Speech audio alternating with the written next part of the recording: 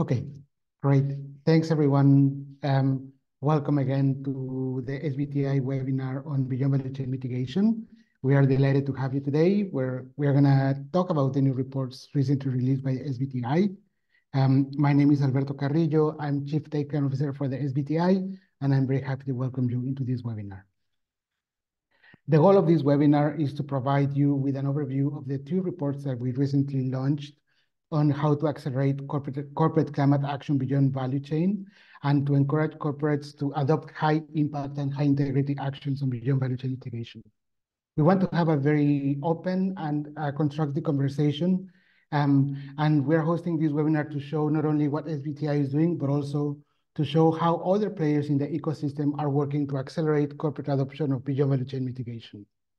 Um, we believe that no one actor and no one action will be sufficient to scale up beyond value chain mitigation and to create a norm around this topic. Every actor has a role in building a network of influence over time that encourages greater climate action in the corporate sector. For this reason, we are delighted to be joined by representatives from other organizations in the corporate climate ecosystem, including the Gold Standard, the Voluntary Carbon Markets Integrity, and the LEAF Coalition. The views that each organization are sharing in this, in this session are strictly the views of those organizations, and we welcome their views today in the spirit of having an open discussion and debate. Um, we recognize that, um, with such lineup, time is gonna be tight, and we will make time at the end to answer some questions um, from you. Please submit your questions via the Jotform link that we have shared in the chat. And now I will hand over to my colleague, Alice, that is gonna introduce today's speakers and provide background and um, information on the session today. Thank you, everyone. Thank you, Alberto. My name is Alice Farrelly, and I'm a Net Zero Senior Analyst at the SBTi. In addition to myself, Alberto, and Scarlett, we're delighted to have three guests with us today: Owen Hewlett, the Chief Technical Officer at Gold Standard; Mark Kenber, the Executive Director at the Voluntary Carbon Markets Integrity Initiative, or VCMI; and Eron Bloomgarden, the CEO of Emergent, which convenes the LEAF Coalition. Please note that the recording of this webinar and the slides will be available on the SBTi website soon. The SBTi is a corporate climate action organization that enables companies and financial institutions worldwide to play their part in combating the climate crisis. There are nearly 5,000 companies now worldwide with a validated science-based target. We first released the Corporate Net Zero Standard in 2021, and more than 700 companies now have validated net zero targets. The Corporate Net Zero Standard has four core elements: near-term targets, long-term targets, neutralization, and beyond value chain mitigation. Near-term science-based targets have a five to 10-year timeframe for companies to reduce Scope 1 and 2 emissions in line with the 1.5-degree pathway, and Scope 3 emissions in line with the well below 2-degree pathway. Long-term science-based targets are to reduce value chain emissions to a residual level in line with the 1.5-degree pathway no later than 2050. Our cross-sector pathway requires companies to reduce their emissions by 90% or more by 2050. Once they have cut all possible emissions through their near-term and long-term targets, the standard requires companies to neutralize residual emissions that continue to be released into the atmosphere.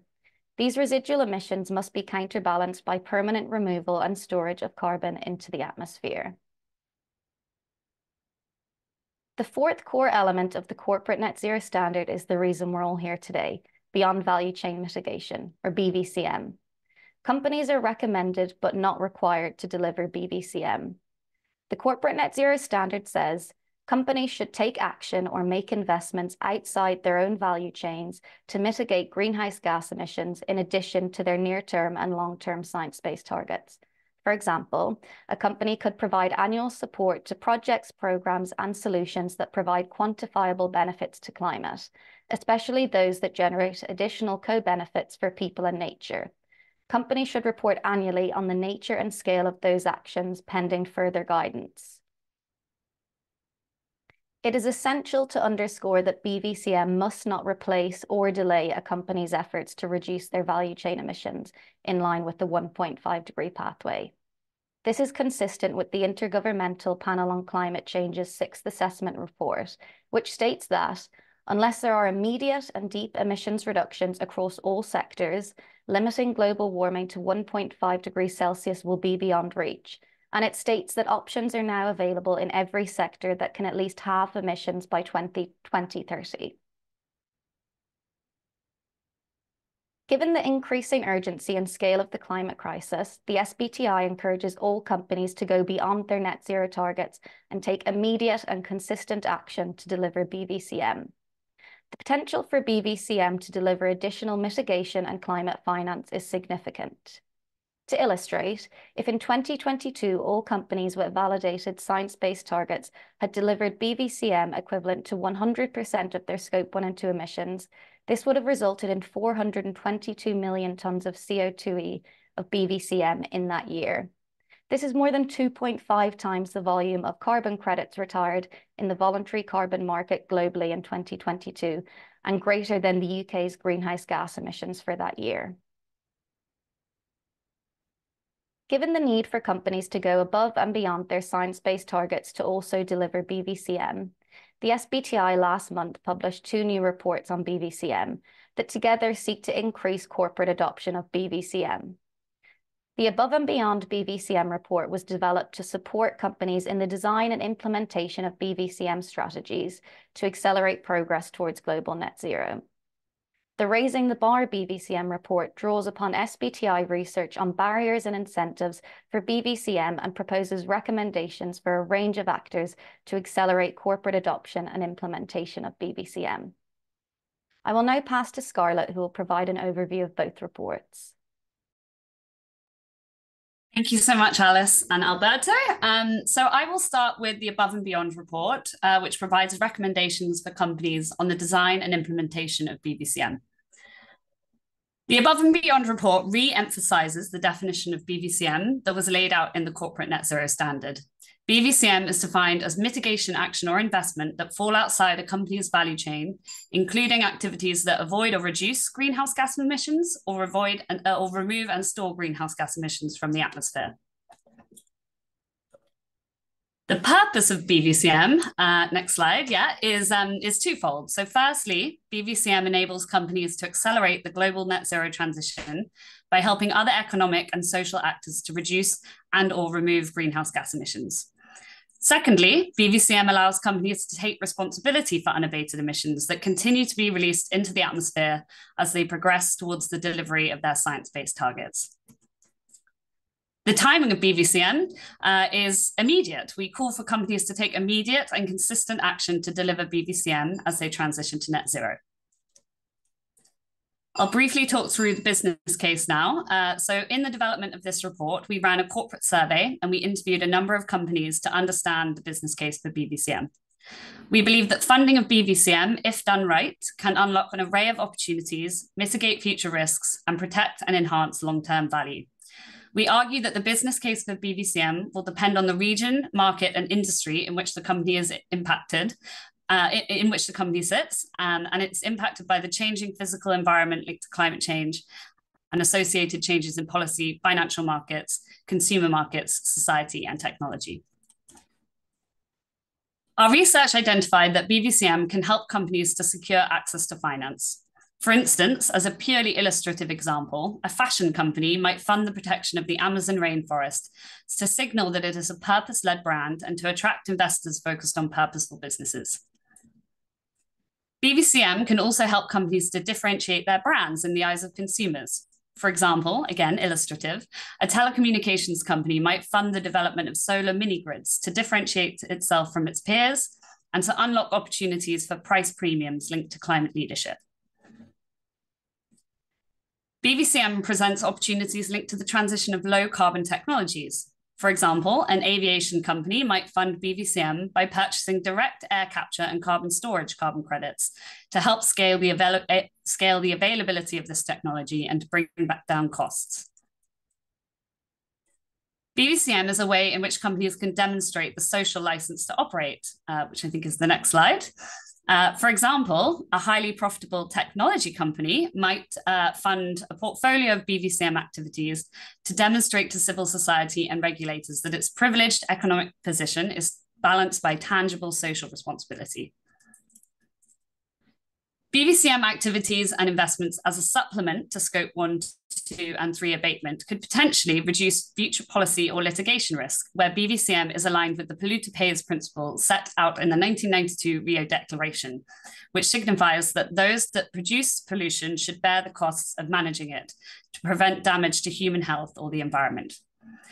Companies can also realize opportunities linked to governmental efforts, efforts to incentivize corporate action on climate through, for example, subsidies and tax incentives. Again, as an illustrative example, a media company might invest into a blended finance mechanism that finances nature based solutions in sub Saharan Africa, whereby development finance is leveraged to attract and de risk private sector investment into developing and emerging economies.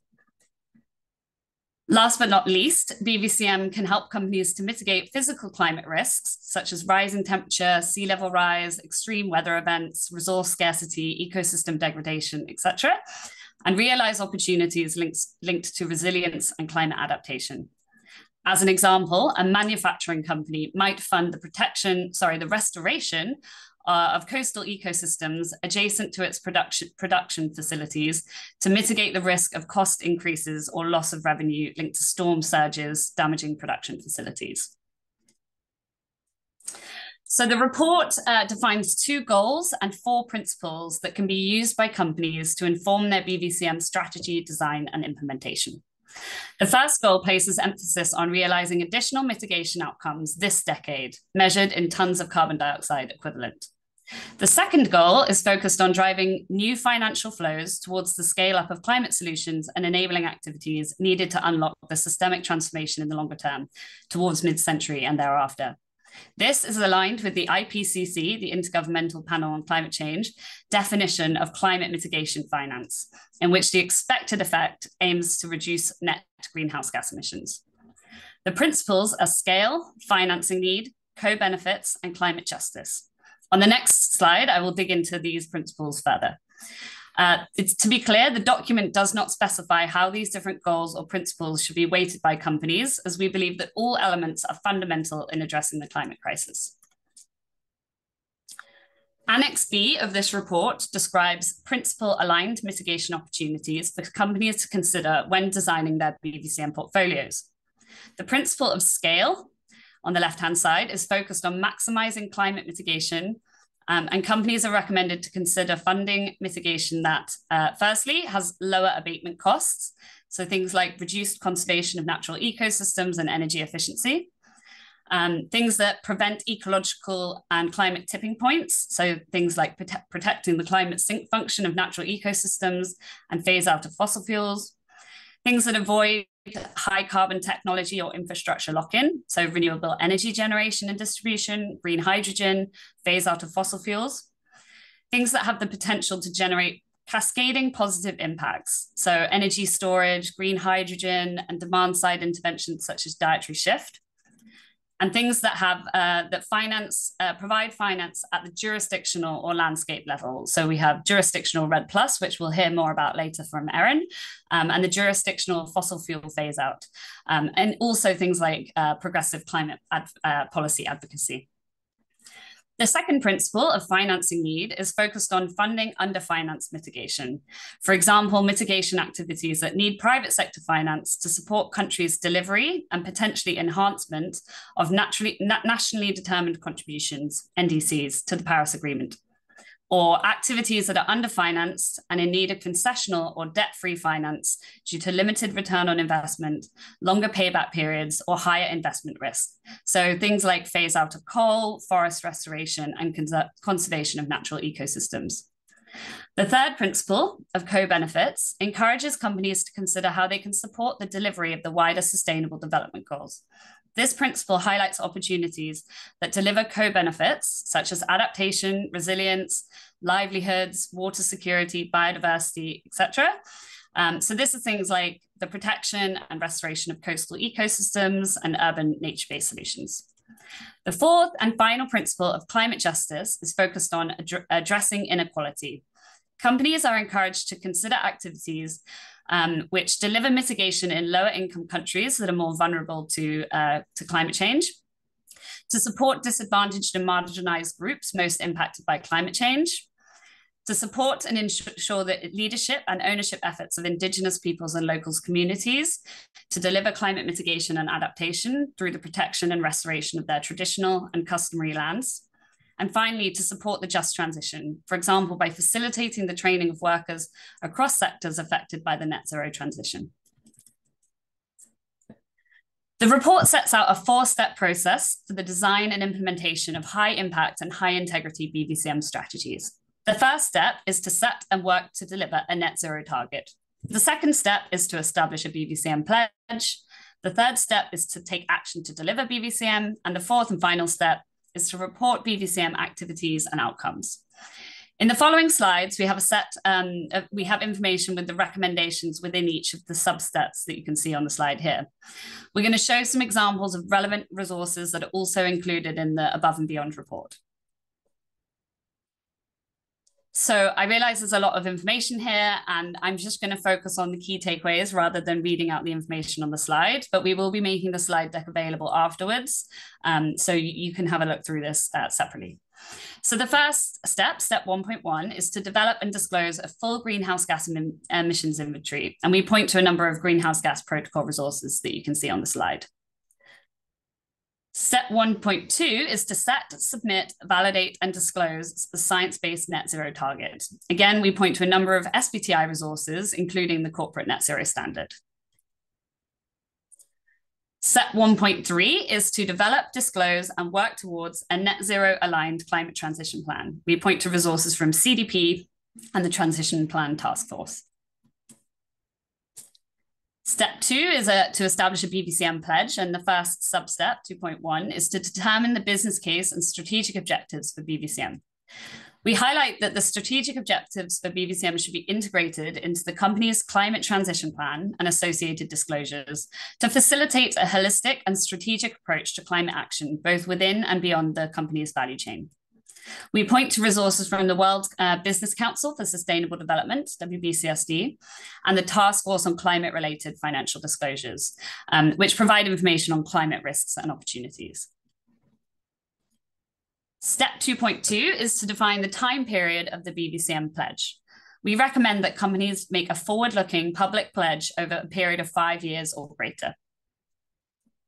Step 2.3 is uh, to define the scale of the pledge um, and it's really important to acknowledge here that the SBTI recognizes that there is a varying ability to pay for BVCM across sectors, for example, based on differing profitability margins or things like different uh, costs for uh, transitioning to net zero within their value chains. So the SBTI welcomes efforts, uh, all efforts by companies to go above and beyond their value chain emissions reductions through BVCM based on their business case and the ability to secure in internal buy-in and financial resources. Moreover, if a company's objective for implementing BVCM is to make a claim, which we will hear more about later from Mark, uh, the SBTI also recognizes that the size of the pledge would likely be determined by the specific requirements of that BVCM certification standard or claims code that they decide to follow.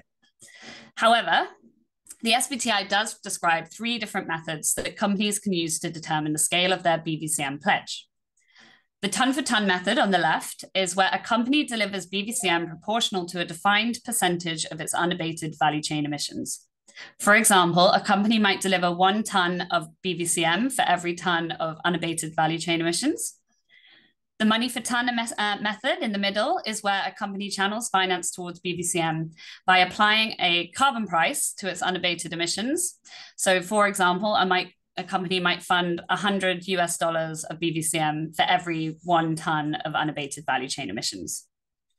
Finally, the money for money method is where a company channels finance towards BVCM based on a defined percentage of profit or revenue.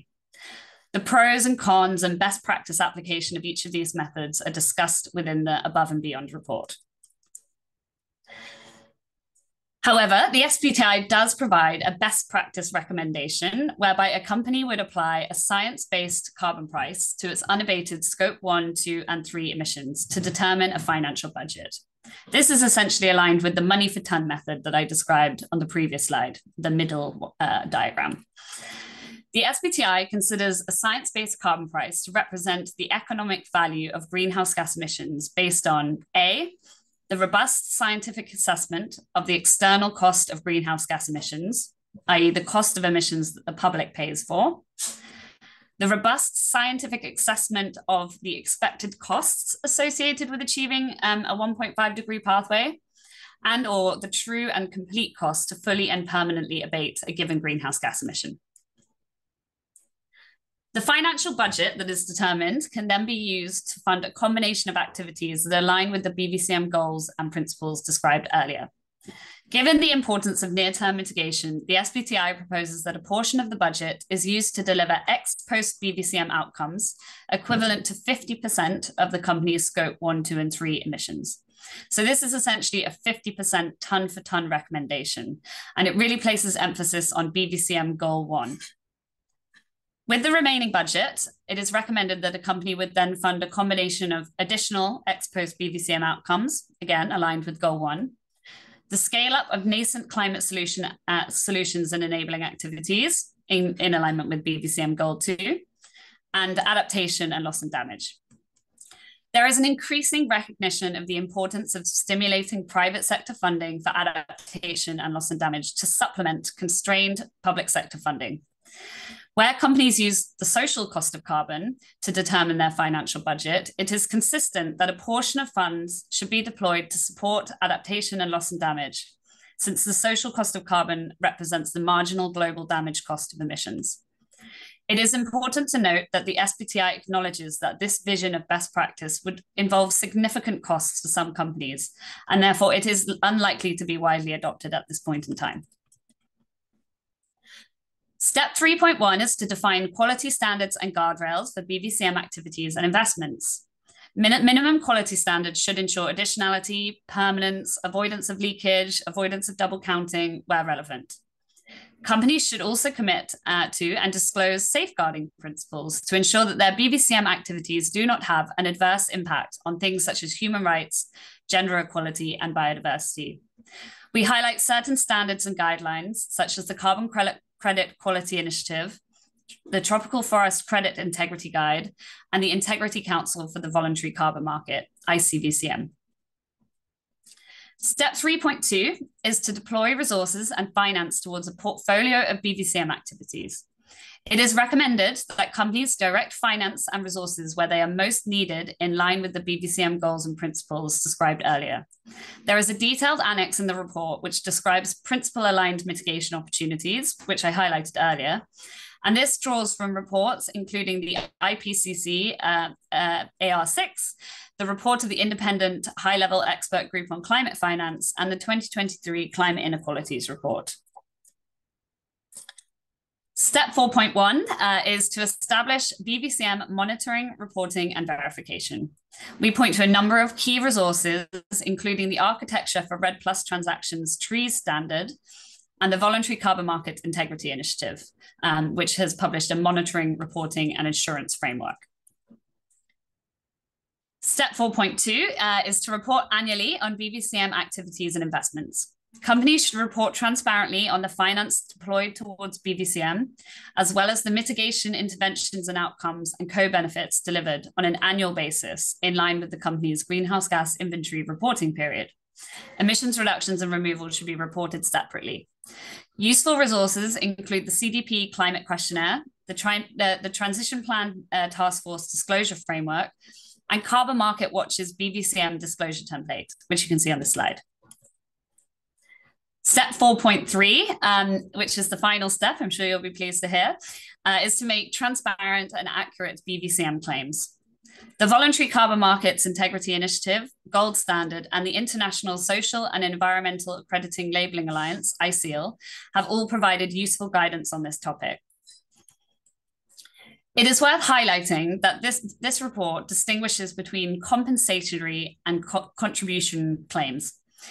Climate compensation claims are those which convey to audiences that avoiding, reducing, or removing greenhouse gas emissions beyond the value chain of a company counterbalances or nets out emissions released within the operations or value chain of a company.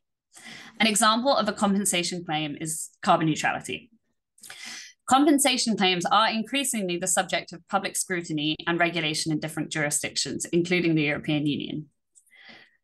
On the other hand, climate contribution claims are those which convey to organizations that the that the that, sorry those that convey to audiences that the organization has provided support or finance to actions beyond the company's value chain with an expected climate mitigation outcome. Unlike compensation claims, uh, contribution claims do not imply that the BVCM outcomes are netting out or counterbalancing the claimant's remaining value chain emissions. Instead, they are communicated as a contribution to global mitigation efforts or even the efforts of a country. Finally, very importantly to underscore that the SBTI does not have plans at this time to validate BVCM claims. So uh, moving on to the second report, uh, Raising the Bar, um, we, we published this report really as a complement to the Above and uh, Beyond report, and it's focused on accelerating corporate adoption of BVCM. It draws upon SBTI's research to, dis to consider both the barriers that limit private sector adoption of BVCM, as well as the positive incentives that have the potential to accelerate adoption. Based on the research findings, this report provides recommendations for different actors, offering a shared vision and theory of change for scaling corporate climate finance in B into BVCM over the coming decades. The report poses a problem statement and a vision upon which the recommendations of this report have been formulated. The problem statement is that there are, there are an insufficient number of companies funding and delivering BVCM consistently and at a scale commensurate with the magnitude of the climate crisis. The vision is that a critical mass of companies are going beyond science based targets to also fund and deliver BVCM, collectively contributing a significant volume of finance and mitigation to address the climate crisis. The report includes the results of our research on barriers to and incentives for corporate adoption of BVCM. The graphs here are excerpts from the BVCM public consultation, which was held in June and July last year, 2023. It shows that companies, financial institutions, and small and medium sized enterprise identified the fear of greenwash accusation as the greatest barrier preventing BVCM adoption. And tax, tax incentives were identified as the most impactful incentive mechanism. Based on this research, we propose a toolbox for addressing barriers and incentivizing adoption of BVCM. We provide recommendations for a range of actors across these five pillars that you can see on the slide. Engage, build buy-in and educate a range of stakeholders on why corporate investment into BVCM is needed, how it benefits them, and provide guidance on best practice. Enable, to enable companies to fund and deliver BVCM through tools and mechanisms for deployment, incentivize, send market signals to incentivize companies to fund and deliver BVCM, mandate, so mandate companies to fund and deliver BVCM or to report on BVCM activities and investments. And finally, mobilize, build momentum to mobilize and accelerate adoption and implementation of BVCM. So, for example, the report highlights that policymakers have the ability to accelerate corporate adoption of BVCM through the development of governance mechanisms, standards, and claims regulation to ensure integrity and to level the playing field to reduce the risk of greenwashing associated with BVCM. Researchers and academics uh, can develop monitoring and mapping tools to identify areas of high investment and impact potential. Advocacy NGOs can run mobilization campaigns to encourage businesses to take action on BVCM. In this report, we conclude that no one actor nor any one action will be sufficient to create a norm around BVCM. Every actor has a role in building a network of influence over time that encourages greater climate action by the corporate sector. For this reason, we are delighted to be joined uh, by other actors working to accelerate corporate adoption of BVCM. I'm going to hand back to Alice, uh, who will reintroduce our guest speakers. Thank you. Thank you so much, Scarlett. Um, as we've already mentioned, we're really pleased to welcome three guest speakers today who will each present for five minutes. If you do have any questions for the speakers, please use the Jot form link that we have shared in the chat. So first of all, I'm pleased to introduce Owen Hewlett, Chief Technical Officer of Gold Standard. So over to you, Owen.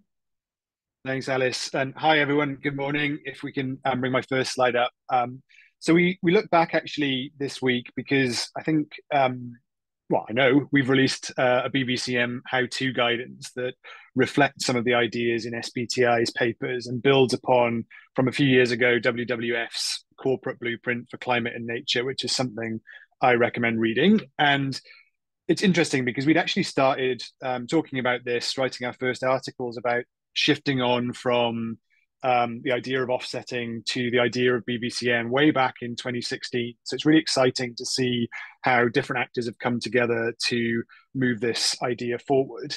And one thing you you get in this space a lot is is interest and opinion as opposed to logic and fact. And one thing you you may have noticed in the discourse is you get ideas like it must be carbon removals and not reductions, or it must be carbon markets and nothing else, or it mustn't be carbon markets, they're evil all, all, of those things are unhelpful. I think there's a logical way of progressing through, and I, I want to kind of share a little bit about how we're thinking about the qualities and mechanisms needed to enact BVCM. And we do that in a simple logical framework at GS. Um, we assess a credible scope of responsibility, i.e., a company's um, value chain emissions. And then you move into the active responsibility. In this case, it's twin, it's to abate those emissions, as Scarlett um, shared, um, and then to act on those unabated emissions. And one way to read BVCM is that the act of offsetting um, is evolved into a more appropriate act that represents an essential need to act on unabated ongoing emissions that are obviously harmful. And then you get into the mechanisms, the qualities and the mechanisms needed to deliver that act. And that's really important because rather than saying it must or it mustn't be carbon markets, it must or it mustn't be removals, um, really it's a question of does that mechanism deliver the qualities needed to make the act true? So if we go on a slide there, please. Um, last year in May, we released uh, a, a, document called Fairly Contributing to Global Net Zero, which set out a framework for the five things that a company should have in its um, climate strategy. And we're really speaking about responsibility for unabated emissions there. The pedant in me wants to say BVCM is the act rather than the responsibility. The responsibility is to is to the unabated emissions. Um, and if we go on a slide, the way we framed it is actually similar four steps to those that Scarlett laid out. So it's to account and report those unabated emissions using things like the greenhouse gas protocol. Um, and then we favor strongly the setting and maintaining of an internal carbon fee as opposed to a ton for ton approach that we saw in, in offsetting. And the reason for that is um, is primarily about how you value the importance of this responsibility um, and how it affects business decisions and um, how it uh, doesn't rate limit the amount of mitigation that you can target. And with that internal fee, it's to fund high quality climate action and make credible claims. And just briefly to fund high quality action, if we go on a slide, what we mean by that is does the action and the mechanism have the quality attributes to deal to deliver that? And working in threes again, uh, we break down quality attributes into three buckets. So relationship attributes speak to the relationship of the action with the company value chain. In this case, BVCM, as it implies, needs to be outside the organization's value chain. And we recommend they're targeting things that are actually outside everyone's value chain, at least for a, a proportion of um, BVCM. So things like restoration of nature and supporting impoverished communities. Uh, then you have accounting and reporting attributes. So, you know, which methodologies, what's the acceptable level of data quality? Are we using, you know, which forms of accounting and how do we address double counting? And there we recommend using um, many of the, the, accounting norms of the carbon markets. I think those are the most appropriate for this purpose. And then lastly, we talk about action attributes. So what, what activities to support? Should they be additional? Yes. Should they be permanent? Actually, that's interesting. Um, offsetting requires uh, a construct for permanence, but we speak about durability in BVCM um, so that we don't have this kind of false accounting construct. Um, and then lastly, just from me, if we go on to my last but one slide, is just to say, if you know the quality attributes that a mechanism can deliver, then you can start to map which parts of the system that mechanism can serve. And so I won't go through all of this other than to say, um, clearly carbon credits for example, can deliver a lot of those quality attributes and are fit for different parts of this system. So rather than saying it must be or it must not be carbon markets, uh, we've rather said it can be carbon markets, a very useful contribution to specific parts of the ecosystem. And then just quickly onto my last slide, just to say, Um, the guidance is published this week. Do reach out to myself or my colleague Dan McGrath. You can see our email addresses there, uh, and you can find me on LinkedIn if you want to read more. We've got a webinar coming up on the 27th. Thanks very much. Great. Thank you so much, Owen. Perfectly to time and really interesting talk. So I'm now pleased to introduce Mark Kenber, Executive Director at the Voluntary Carbon Markets Integrity Initiative. Over to you, Mark. Thank you very much, Alice. And also thanks to SBTI and Scarlett in particular for that very comprehensive view of uh, beyond value chain mitigation options. And I, I, I think it's, it's worth emphasizing at this point, as both Scarlett and Owen have said, that in 2024, we're not in a position to choose between one thing or other that we do. We need companies to decarbonize as quickly and deeply as possible. And we also need huge investments in uh, what we're calling here beyond value chain mitigation. That's to say, actions to reduce and remove emissions all around the world. VCMI um, is, is particularly focused on the, the carbon market aspect of this. And we look to answer the question how can companies credibly engage with voluntary or generally with carbon markets? And what can they credibly say about that engagement? And so we've published uh, last year a claims code of practice that specifically looks to provide steps that companies should, can, and should follow when they're investing in voluntary carbon markets in a way that satisfies that sort of initial question. How can they make those investments scale up the level of climate finance that is needed uh, while at the same time decarbonizing their economies? And it's, uh, as you'll see in a moment, our guidance very closely follows what Scarlett has just laid out for everybody. Uh, so if we could go to the next slide, please. Uh, so we published, as I mentioned, uh, this claims code of practice, which establishes uh, carbon integrity claims. And Scarlett mentioned in her presentation that uh, SBTI doesn't seek to certify or validate these claims, but provides the guidance. And we're providing a certification process for one part of that. And I should emphasize it's not all the BVCM that Scarlett uh, and even Owen have referred to, but just use of carbon credits as part of a broader uh, corporate climate strategy. And we uh, established four steps that companies should follow to be able to make a carbon integrity claim. And it will it's pretty will be pretty obvious that these are very similar to the steps that both uh, SBTI and Gold Standard are recommending. So step one, before a company even engages with voluntary carbon markets, they should meet a set of foundational criteria. And these foundational criteria are designed to represent good or best corporate practice on climate change. And they include things such as having an independently verified and publicly disclosed inventory, having a net zero target no later than 2050, having a set of a set, set of science aligned near term targets, and we very clearly signpost in our claims code of practice that the SBTI approach is the one that companies should follow. Uh, companies should also demonstrate uh, how they are going to meet these targets, and one way of doing that is by demonstrating uh, that they have good corporate governance. For example, that exec senior executive pay uh, is linked to uh, carbon targets um, and uh, re uh, report on their capex and opex related to carbon emission reductions. And as others have mentioned, if they have one, publish a transition plan. We also recognize that it's important that companies uh, not only walk the talk, but talk the walk, and therefore expect companies to uh, have an assured statement that says that their lobbying or public advocacy activities are aligned with the Paris Agreement and their own net zero commitments. And those are all prerequisites that companies should meet before thinking about uh, how they should they should engage with voluntary carbon markets and make an associated claim. The second then, step then is to decide what claim to make, and I'll describe the claims in a moment.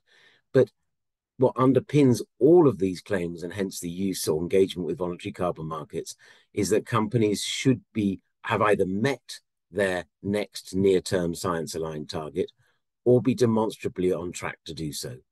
Now, if the company is making a claim in their target year, let's say it's 2025 or 2030, then given that most companies' targets have a numerical emissions figure, it's relatively, not totally, but relatively straightforward to uh, verify that they have met their target.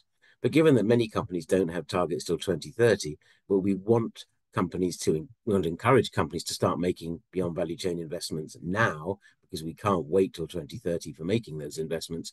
we've developed some tools which will need we will improve over time to come to assess whether a company is on track or not to meet its targets. And those again, going back to some of the metrics I mentioned before, they include emissions reductions, emissions intensity reductions, but also financial and other metrics associated with the investments they're making in their own internal decarbonization.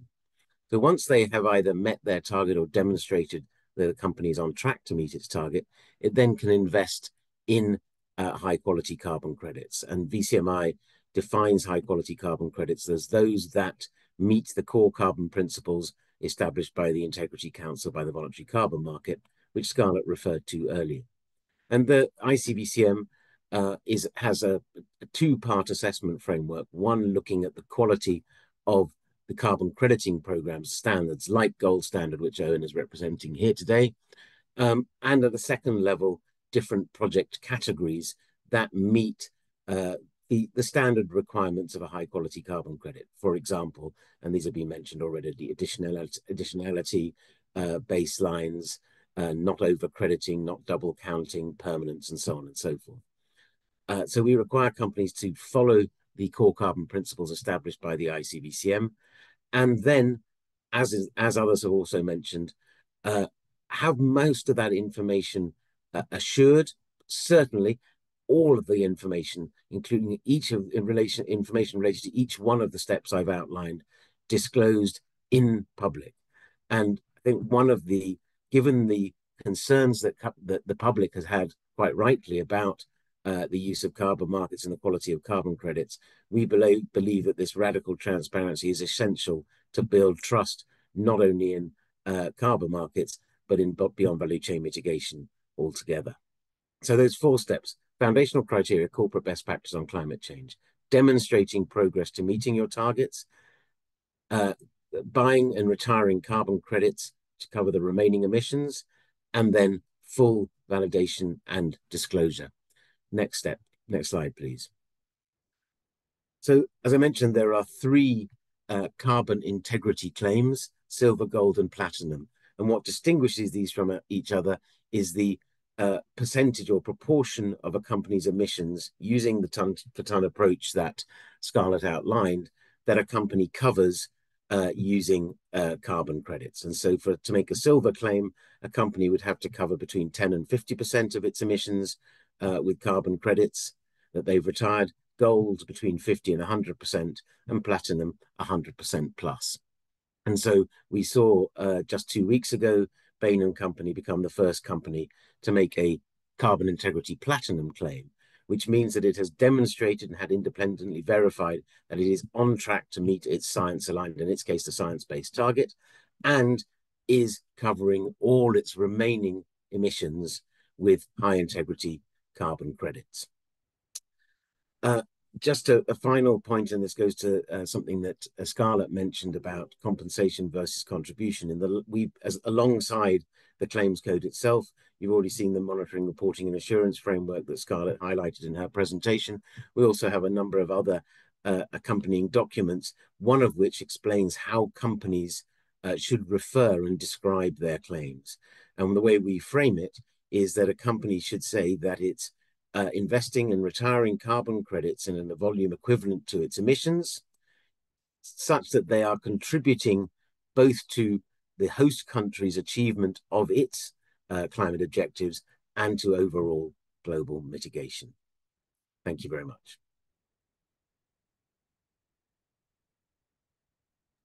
Thank you very much, Mark, for that interesting talk. I'm now pleased to introduce our final speaker, Eron Bloomgarden, CEO of Emergent, which convenes the LEAF Coalition. Over to you.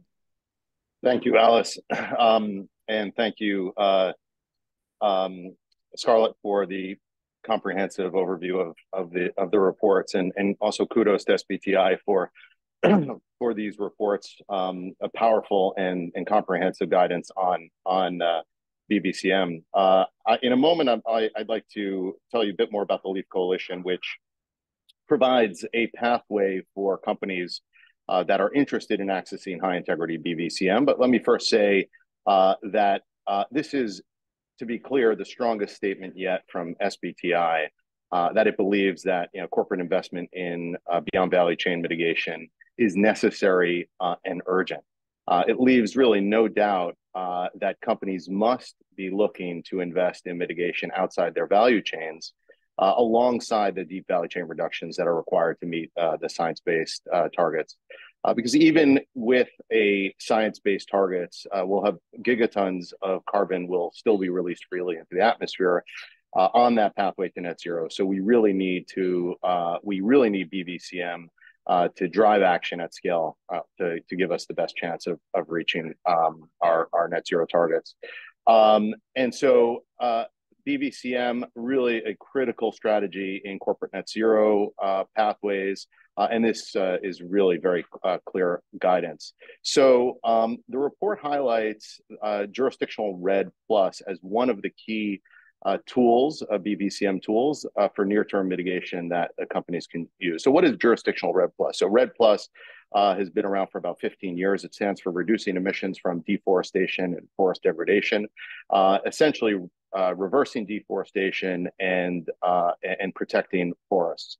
Deforestation is not, forests are not only a sink, but the act of deforestation is also a source of emissions between 10 and 20% of emissions themselves. And so any global climate strategy must take into account uh, reversing defor uh, deforestation.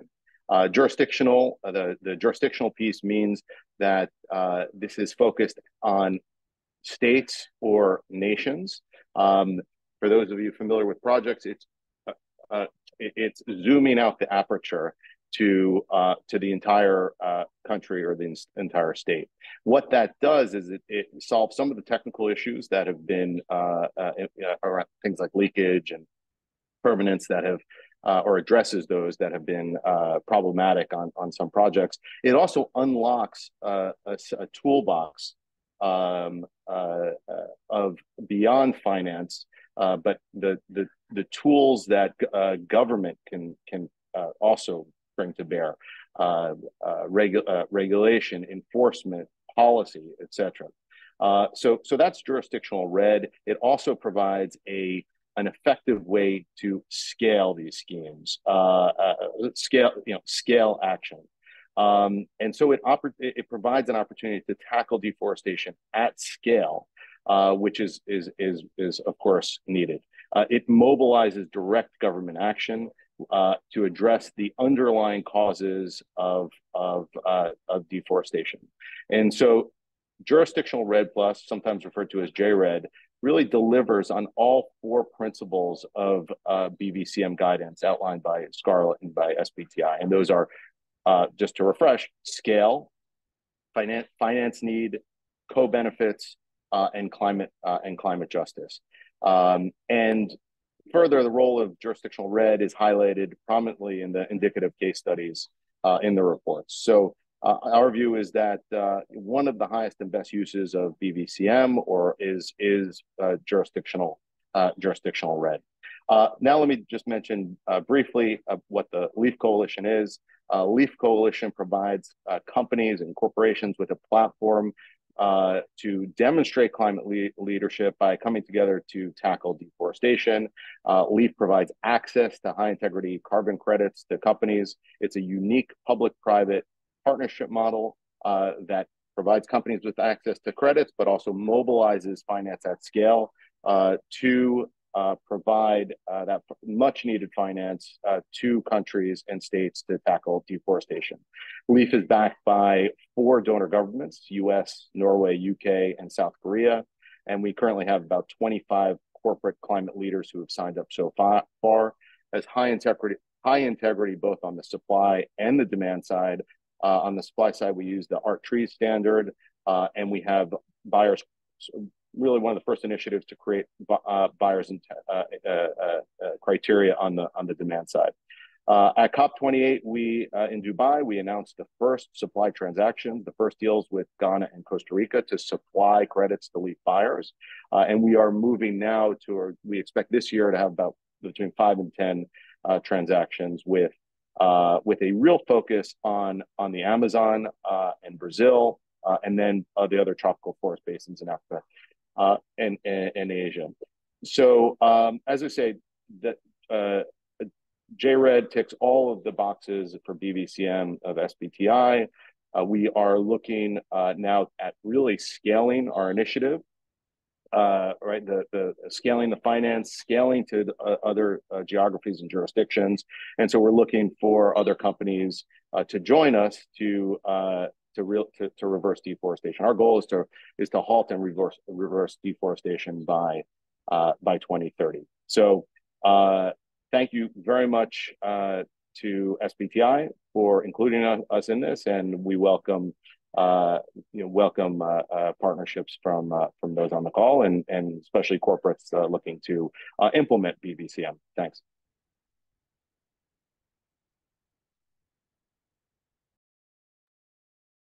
Great. Thank you so much, Owen, Mark, and Eron, for those comprehensive presentations. We're now going to open for questions and answers before closing today's webinar.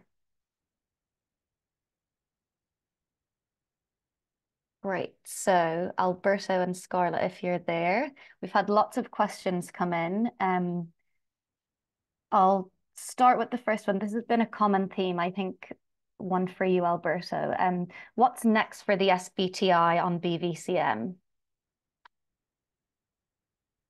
Thanks, Alice. Um, well, we're not planning further work at this point on, on BVCM. Um, we will start the review of the corporate zero standard this year, and we're going to be sharing on our website more details about this plan revision. Um, so please, yeah, keep an eye on, on our channels. Great. Thank you, Alberto. Um, another interesting one that we've had in for you, Scarlett. Um, can you explain the difference between BVCM and neutralization? Yeah, sure. So um, in my presentation earlier, I highlighted that the net zero standard has four elements, so near-term targets, long-term targets, BVCM and neutralization. And we see them as two kind of distinct things. And we actually have an annex in the above and beyond report. I think it's the first one, Annex A, um, which has a table that's really like distinguishes very clearly between the two topics and concepts. Um, and it it compares them in terms of you know their definition uh, the eligible mitigation outcomes so whether they're removals or reductions or both um, their status within the net zero standards, so whether they're required or um, or recommended, and their purpose and also their timing. Um, so maybe just maybe I can kind of run through those as well quickly now. Um, so BVCM, as I mentioned, has two purposes. It's to do with um, taking responsibility for unabated emissions that continue to be released into the atmosphere, and it's also about accelerating the global net zero transition. Um, and we recommend that companies do it now and consistently. Whereas neutralization of residual emissions is what happens once a company's science-based target has actually been achieved. So once uh, we have a cross-sector pathway for, for net zero, which is a 90% reduction in emissions by 2050 at the latest. And so by that, by that, therefore, companies would have some emissions left over, those that we consider to be infeasible to abate. We call these residual emissions. Um, and so the purpose of neutralization is actually focused on that end state. So it's, you know, at 2050 or when, if, if your target is earlier, your net zero target, um, then that would be when neutralization happens. Um, and while BVCM is both emissions reductions and removals, and we really highlight that both are essential, um, we need to remove as many emissions from the atmosphere as, uh, sorry, we need to reduce and eliminate as many emissions um, as possible, uh, and we need to remove those that are left over. So we need to scale some of those technologies. So BVCM is both reductions and removals, whereas neutralization is is limited to removal of carbon from the atmosphere after the net zero target has been achieved. Very importantly, we say that those removals for neutralization have to be permanent. And we haven't defined exactly what will count as permanent removals at this point in time. We have uh, we're in, un, undergoing research on this topic, and there's you know debate within the academic world um, as well as in policy spheres on on permanence. So we will be providing further guidance on that in future iterations of the corporate net zero standard. But yeah, Annex A essentially covers this in quite a lot of detail. So I refer you to, to that. Thanks, Alice. Thanks, Scarlett, for that really clear answer. I think we've got time for one more quick question. Another one for you, Scarlett. Um, what's the difference between BVCM and insetting? Yes, sure. So um, insetting is a term which actually it hasn't been kind of consistently defined. Um, but maybe I'll think about the greenhouse gas protocol. Um, so their definition in their draft land sector and removals guidance is essentially um, where you're and I refer you to the document because I'm not going to remember it off the top of my head, but it's essentially where reductions or enhanced removals um, occur within a company's value chain and they are funded through carbon credits. Um, and so as I say, the greenhouse gas protocol says that these are where you're using carbon credits in your company's value chain whereas BVCM is by definition beyond the value chain. So that is the very clear distinction. Insetting in value chain, beyond value chain, beyond value chain.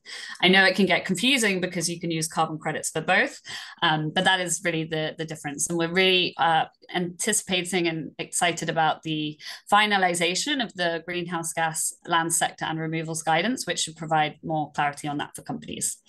So I think that's hopefully clear and I'll hand back to you, Alice. Thank you. Thank you, Scarlett and Alberto. Um, I think that's all the time we have for questions today. If we can have the slides back. Um, yeah, we received a huge number of questions, so thank you so much to everyone that submitted. Um, if we weren't able to answer your questions today, we will endeavour to do so in our future communication. So please do follow us on social media and sign up for our newsletter to keep informed. As we said, we'll be uploading the webinar recording onto the SBTI website soon, along with the slide deck that we presented today. And the link that you can see on the slide on your screen now shows where all of the SBTI's resources are housed. And we'll also post this in the chat. And you can see on the screen that we've translated the executive summary of the Above and Beyond report into Arabic, French, Japanese, Mandarin, Portuguese, and Spanish. And we'll also be uploading translations of this webinar deck. Um, so yeah, thank you everyone for joining us today. Thank you to all of our speakers and goodbye.